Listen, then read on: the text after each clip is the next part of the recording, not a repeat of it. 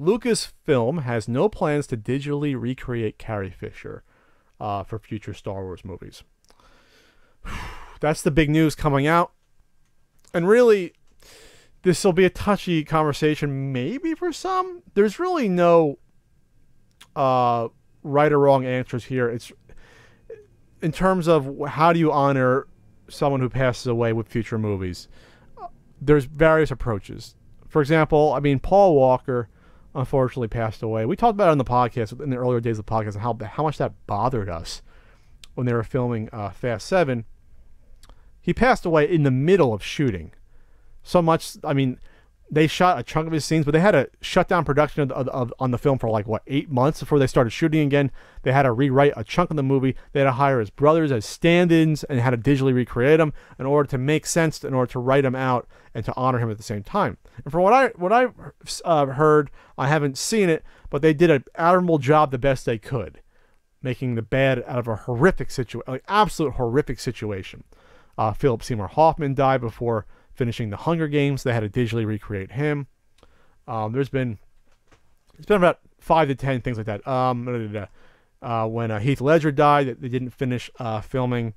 Uh, what was that last movie he worked on where they had to hire three other actors in order to do uh, certain scenes with uh, him in his place, like Colin Farrell. the Imaginarium of Dr. Parnassus, that one, they had to do some little trickery here and there, but he was in the middle of filming that. And then now you come to Carrie Fisher who had finished shooting. The good news, I mean, there's not I mean, good news. Carrie Fisher died, and it's a tra- it's a tragedy. Even though she was 60, you know, it could happen. I mean, that's the danger. You bring back these franchises after being away. These actors haven't acted in these roles for 35 years. Harrison Ford, Jesus Christ, he had his foot almost fucking cut off by a Millennium Falcon door when filming. It was crushed, and he crashed a goddamn plane you know, when they were in production of Star Wars Episode 7. He crashed he crash landed a small plane and walked away from that. Uh, so I mean that's a different circumstance than dying of, of cardiac arrest or a heart attack or however uh, Miss Fisher died. But people get older, you have these movies come out. I mean, I, I don't know how you get away with these, especially like it was like Harrison Ford does one movie. But then he's got to be around potentially then for uh, doing two more. That's like f- another four or five years. She's got to be alive to shoot it. Carrie Fisher, the same thing. She's got to be around for four or five years to shoot three movies, potentially. Um, the same way in The Hobbit, they brought back. Uh, what's his name? Who died? Uh, Christopher Lee. 90 years old. He comes back, went out like a fucking champ, was great. In the limited time, they digitally helped them move around and had some people understand that. Uh, but that was 10, 11 years in between filming. They started filming The Lord of the Rings in like 99. And I think they started production on The Hobbit something like, I don't know, 2010. So, uh, so at least 10 years, at least 10 years in between filming uh, these two sets of movies with an actor who was already 80 years old in the other movies. You're playing with fire when it comes to this stuff because uh, time beats us all. No one's beaten beaten that fucking guy yet. People have gotten close, but time at the end of the day will kick the shit out of all of us. So, uh, here's the the issue though with with Carrie Fisher. This isn't just like Philip Seymour Hoffman where yeah, you know, he had to film a few more scenes. You can fudge around it, whatever, or rewrite it. Carrie Fisher's a main character. Oh, Christopher Lee was 92 filming the final scene uh, that he did for The Hobbit. Holy shit. Good on Christopher Lee. God damn, what a champ.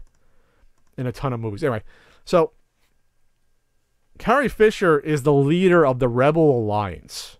Or the, excuse me, now the not the the resistance, whatever the hell you want to call it, the, the new galactic fucking Senate or whatever Republic. She's the leader, right? She had a only what three scenes uh, in uh, episode seven, The Force Awakens. Uh, supposedly her role, I don't know about episode eight. The word is on episode eight she doesn't have a huge amount of, of, of scenes, but in episode nine, it was supposed to ramp up because remember, her son killed a Han Solo So you you, you probably were going to have a scene with her confronting Kylo Ren. You are probably going to have, if God, if you didn't have a scene in Episode Eight shot where she meets up with with Luke Skywalker, brother and sister, you are going to definitely have one in Episode Nine. Uh, now that's gone, unfortunately, that opportunity.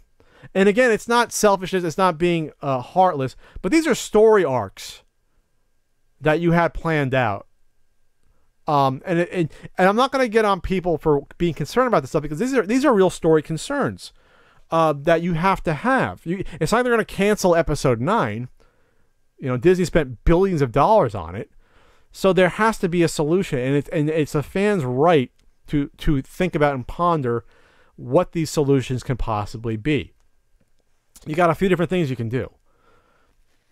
It might be heartless, but you might have to recast and you might have to start that with episode 8. Just so that. I'm not saying you're going to get someone that comes close to Carrie Fisher, but hell.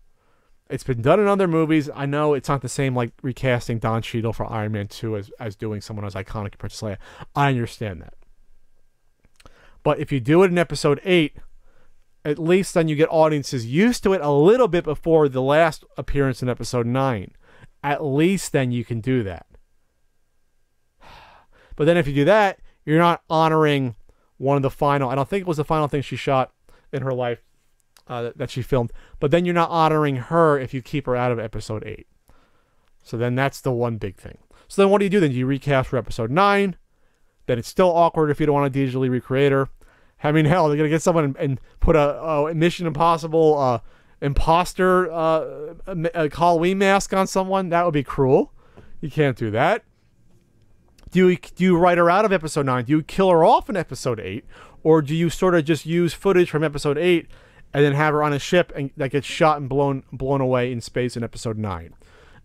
I mean, these are all things that right now Disney is scratching their heads or struggling with it. Who knows if they even have a solution yet? But they better damn well come up with one because the release of episode eight is less than a year uh, away. And if they have to change the plans for episode nine, that means maybe rewriting part of episode eight and reshooting it and they and they finished shooting episode eight like what six seven months ago, you know something like that. So these are these are questions you have to answer, or ask at least, and you have to answer them. Um, my issue though is that I mean they might have a choice, but if they kill off, uh, General Leia, Senator Leia, however you want to say it, uh, Princess Leia, Queen Leia, if you, if you kill her off, then you have two of the three uh, major characters from the original trilogy being killed off. That just bothers me. But again, they might have a choice. So maybe, maybe what they'll do then, they'll take the the Spock route from Star Wars. I mean, they might just do this. This might be the most tasteful way to do it. Honestly, it might be the most tasteful way to do it. No digital recreation, no recasting. Even though, to me, that wouldn't be totally awful uh, you'd have to get get over it. I think you eventually would. It would bother some people. Then again, there's no there's no there's no solution that would satisfy everyone. Some people will be pissed if she's digitally recreated. Some people will be pissed if she's written out. Some people will be pissed if she was uh, recast. I think they're going to go though. The most sensible solution might be just to have an off-screen death. She dies of old age or an accident that you don't see. Uh, you don't show it on camera. You just start up episode nine after a scene saying, uh, sorry to say, we have bad news um, that uh, General Leia uh, passed away, and they have like um, some sort of a funeral scene or something of that nature, or some sort of ceremony, the same way they did in uh, Star Trek, the last Star Trek movie that come out for Leonard Nimoy and, and the Spock character, because he showed up in the first two of of the new uh, trilogy. There, that could be the way you go you you still probably have to rewrite episode nine. You man, it's just it's just a tragedy all around. I mean, it's tragedy she died, obviously, but then yeah, I hate to say it, you're gonna have people pissed at how Star Wars, uh, you know, how do they resolve that that issue? If you think it's heartless, it's heartless, but that's what something that they have to think about uh, doing. They can't just ignore it. You know, they got to do episode nine. They're not going to stop the series. The show must go on, as that good Queen song uh, stated.